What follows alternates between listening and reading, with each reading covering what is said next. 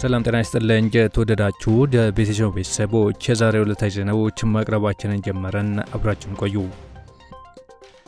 ማዕከሉን ሆሳና ያደረገ ክልል እንዲመሰረት መንግሥት አቅጣጫ ማስቀመጡ ተነገረ። ሀዲያ፣ ስልጤ፣ ጉራጌ፣ አላባ፣ ከምባታና የም የተሰኙ አምስት ዞኖችና አንድ ልዩ ወረዳን የያዘ ክልል እንዲመሰረትና ዋና ከተማውም ሆሳና እንዲሆን መንግሥት አቅጣጫ ማስቀመጡን አዲስ ማለዳ ጋዜጣ ዘግበዋል።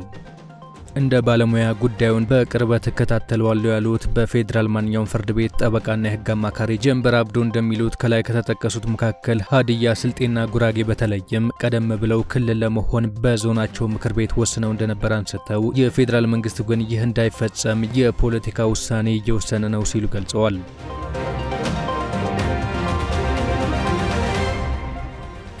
ኢትዮጵያ ለጅቡቲ የምትሸጣቸው አትክልትና ፍራፍሬዎች ቀደም ሲል በነበረው ዋጋ እንዲቀጥሉ በሁለቱ ሀገራት መካከል ስምምነት መደረሱን የውጭ ጉዳይ ሚኒስቴር አስታወቀ። የአትክልትና ፍራፍሬ ዋጋ ባለበት የሚቀጥለው ሁለቱ ሀገራት የሚያቋቁሙት የጋራ ኮሚቴ የጅቡቲ ነባራዊ ሁኔታ አጥንቶ የዋጋ ማሻሻያ እስኪያደርግ እንደሆነ ተገልጸዋል። የጅቡቲ ጫት አስመጪዎችም የጫት ምርት የውጭ ሽያጭ ውል ምዝገባ መፈጸም ሳያስፈልጋቸው ጫት ወደ ሀገራቸው እንዲያስገቡ በኢትዮጵያ በኩል ተፈቅደዋል። ስምምነቱ የተደረሰው ኢትዮጵያ መንግስት ልዑክ ሰሞኑን በጅቡቲ ጉብኝት ባደረገበት ወቅት ነው።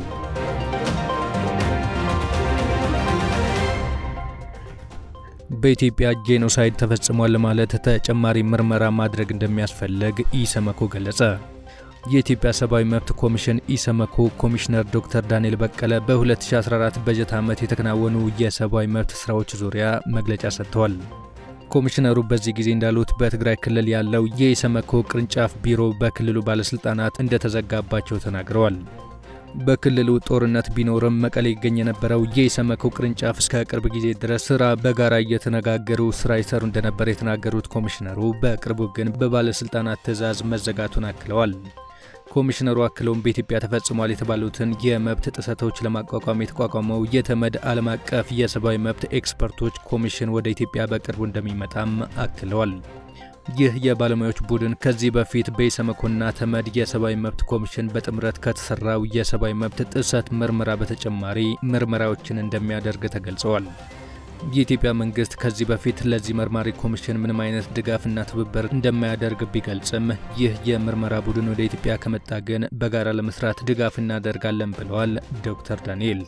ኢሰመኮ ገለልተኛና ነጻ የሰብአዊ ተቋም በመሆኑና ከየትኛውም የሰብአዊ መብት ጥበቃ ተቋማት ጋር በጋራ የመስራት ነጻነት አለን ያሉት ዶክተር ዳንኤል በቅርቡ ወደ ኢትዮጵያ ከሚመጣው መርማሪ የባለሙያዎች ቡድን ጋርም ድጋፍ እናደርጋለን ብለዋል።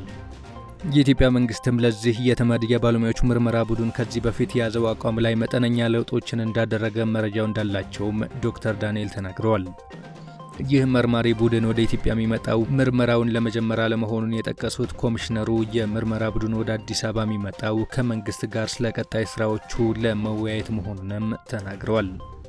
በተለያዩ የሀገሪቱ አካባቢዎች ላይ ማንነትን መሰረት ያደረጉ የጅምላ ግድያዎች እየተፈጸሙ ናቸው። ብዙዎች ድርጊቱ የጅምላ ጭፍጨፋ ወይም ጄኖሳይድ ነው የሚሉ ሀሳቦች ይነሳሉና የኮሚሽኑ አቋም ምንድን ነው በሚል ከጋዜጠኞች ለቀረበላቸው ጥያቄ ኮሚሽነሩ ጥያቄው በተደጋጋሚ ይነሳል፣ ነገር ግን በኢትዮጵያ ጄኖሳይድ ተፈጽሟል የሚል ድምዳሜ ላይ ለመድረስ ተጨማሪ ምርመራዎችን ማድረግ ያስፈልጋል ሲሉ ምላሽ ሰጥተዋል። በኢትዮጵያ አሁን ላይ ጋዜጠኞችን ማሰር፣ በሕግ ማስከበር ስም ዜጎችን ለተራዘመ እስር መዳረግ፣ ባልታወቁ ማቆያዎች ውስጥ ዜጎችን ማሰርና መሰወር እንዲሁም በፍርድ ቤት የተፈቀዱ ዋስትናዎችን አለማክበር በዜጎች ላይ ትልቅ የደህንነት ችግሮች እንደሆኑ ኮሚሽነሩ ተናግረዋል። ከቅርብ ጊዜ ወዲህ ደግሞ የታሰሩ ዜጎችን ከእስር መልቀቅ በኮሚሽኑ የምርመራ ግኝት መሰረት በአጥፊዎች ላይ ሕጋዊ እርምጃ እየተወሰደ መምጣቱን በአዎንታ ያነሱት ዶክተር ዳንኤል ለአብነትም በሶማሌ ክልል፣ ቤንሻንጉል ጉሙዝና ኦሮሚያ ክልሎች የዜጎችን ሰብአዊ መብት የጣሱ አካላት ላይ ምርመራ መጀመሩን በመልካም ጎኑ አንስተዋል። የተመድ ሰብአዊ መብቶች ምክር ቤት ስሪላንካዊቷ ራዲካ ኩማራ ስዋሚን በኢትዮጵያ ተፈጽሟል የተባሉትን የሰብአዊ መብት ጥሰቶችን ለማጣራት የተቋቋመው ዓለም አቀፍ የሰብአዊ መብት ኤክስፐርቶች ኮሚሽን አባል አድርጎ መሾሙ ይታወሳል።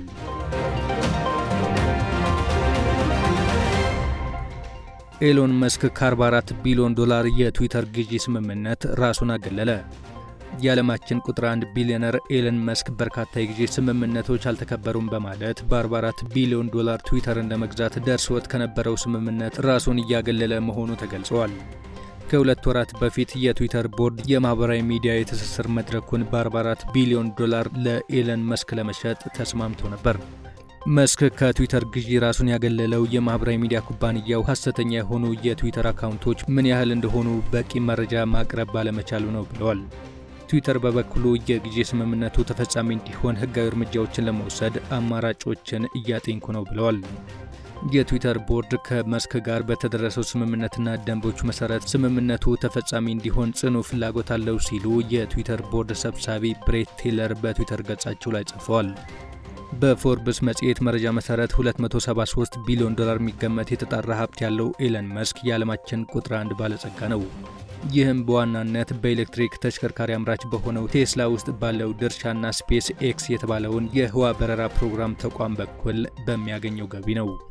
መስክ ትዊተርን ለመግዛት ከስምምነት መድረሱ በተገለጸበት ወቅት የማህበራዊ ትስስር መድረኩን ደንብና የአጠቃቀም መመሪያዎችን በማላላት ሰዎች በተሻለ ነፃነትና አነስተኛ ገደብ ሀሳባቸውን መግለጽ እንዲችሉ ይፈቀዳሉ የሚሉ ግምቶች በስፋት ተነስቶ ነበር። ነፃ ንግግር የዲሞክራሲ መሰረት ነው። ትዊተር ደግሞ ለሰው ልጅ የወደፊት ህይወት ወሳኝ የሆኑ ጉዳዮች ላይ ክርክር የሚደረግበት የዲጂታል አደባባይ ነው ሲል ኤለን መስክ ስምምነቱን ይፋ ባደረገበት መግለጫ ገልጾ ነበር። ትዊተር የቀድሞ የአሜሪካ ፕሬዚዳንት ዶናልድ ትራምፕን ከማህበራዊ መድረኩ ማገዱን መስክ አጥብቆ ተቃውሞት ነበር። መስክ ግንቦት ወር ላይ ስፓም ወይም ሐሰተኛ የሆኑ አካውንቶችን በተመለከተ መረጃ እስኪገኝ ድረስ የግዢው ስምምነት ባለበት እንዲቆም ተደርጓል ብሎ ነበር። ትዊተር ከአጠቃላይ ተጠቃሚዎቹ የሐሰተኛ አካውንቶች ቁጥር ከአምስት በመቶ ያልዘለለ ነው ቢልም መስክ ግን ማረጋገጫ እንዲሰጠው ሲጠይቅ ቆይቷል። መስክ ይህ ቁጥር ከ20 በመቶ ያላነሰ ነው ብሎ ያምናል።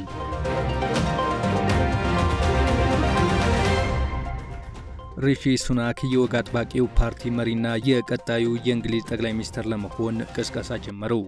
ሪሺ ሱናክ ቀጣዩ የወግ አጥባቂው ፓርቲ መሪና ጠቅላይ ሚኒስትር ለመሆን ፉክክር ውስጥ ገብተዋል። የቀድሞ ቻንስለር እጩነታቸውን ካሳወቁ እስካሁን በከፍተኛ ደረጃ ታዋቂ የሆኑ ሰው ናቸው።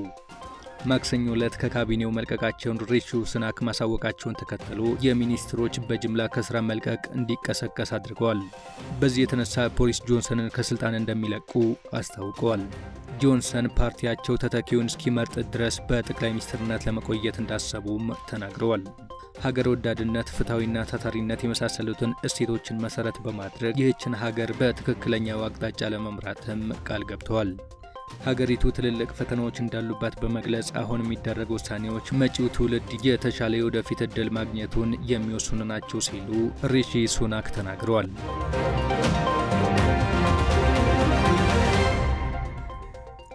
ክቡራን አድማጮች ዜናዎቻችንን አበቃን። መልካም ጊዜ